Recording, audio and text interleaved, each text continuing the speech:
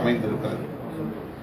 RSS உடைய செயல் திட்டங்களை எல்லாம் நடைமுறைப்படுத்துவதற்கான வேலையை தொடங்கிவிட்டார் நம்முடைய ஆளுநர் என்பது இன்றைய பேச்சிலிருந்து உறுதிப்படுத்தப்படுகிறது. இரண்டு நாட்களுக்கு முன்பு தமிழ்நாட்டை ஆன்மீகத்தின் தலைநகரம் என்று பேசினார். இந்தியாவில் தமிழ்நாட்டை ஆன்மீக தலைநகரம் என்று முதன் முதலாக நம்முடைய ஆளுநர் தான் சொல்லியிருக்கிறார். வட இந்திய மாநிலங்கள் எந்த அளவுக்கு ஆன்மீகத்தில் ஈடுபாடு கொண்டிருக்கின்றன? உத்தரப்பிரதேசம் ஏன் வட இந்தியாவில் உள்ள ஒவ்வொரு மாநிலமும் எந்த அளவுக்கு அவர்கள் ஆன்மீகத்திற்கு முக்கியத்துவம் தருகிறார்கள் என்பதை நாடு அறியும் உலகம் அறியும் அயோத்தி ராமர் கோயில் ஆகியவற்றை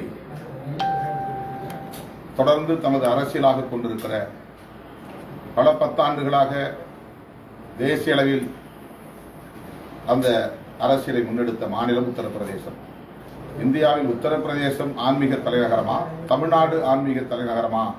என்று கேட்டால் உத்தரப்பிரதேசத்தை தான் சொல்ல முடியும். ஆனால் அவர் தமிழ்நாட்டை ஆன்மீக தலைநகரம் என்று சொல்லுகிறார் என்றால் அதன் பின்னணியில் ஏதோ சதி இருக்கிறது.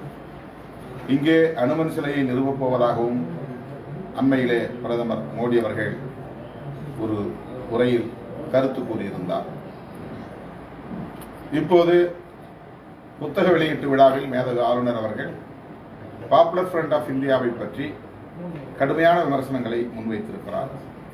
தீவிரவாத அமைப்பு தீவிரவாதிகளோடு தொடர்புடைய அமைப்பு ஐஎஸ் போன்ற அமைப்புகளுக்கு ஆள் பிடித்து தருகிற அமைப்பு மனித உரிமைகள் என்கிற முகமூடியை போட்டுக்கொண்டு இங்கே தீவிரவாதத்தை பரப்பி வருகிறது என்றெல்லாம் பாரதிய ஜனதா கட்சியை சார்ந்தவர்கள் பேசுவதைப் போல அல்லது ஆர்எஸ்எஸ் அமைப்பை சார்ந்த தலைவர்கள் பேசுவதைப் போல ஆளுநர் பொறுப்பில் இருக்கிறவர் பேசுவது அதிர்ச்சி அளிக்கிறது. தமிழ்நாட்டை அவர்கள் குறிவைத்து விட்டார்கள் வன்முறைக்கு வித்திடுகிறார்கள். இங்கே மத அடிப்படையிலான வெறுப்பு அரசியலை தீவிரப்படுத்துகிறார்கள் என்பதற்கு இந்த பேச்சு ஒரு சான்றாக இருப்பதாக கருதுகிறேன். ஜனநாயக சக்திகள் விழிப்போடு இருக்க வேண்டும்.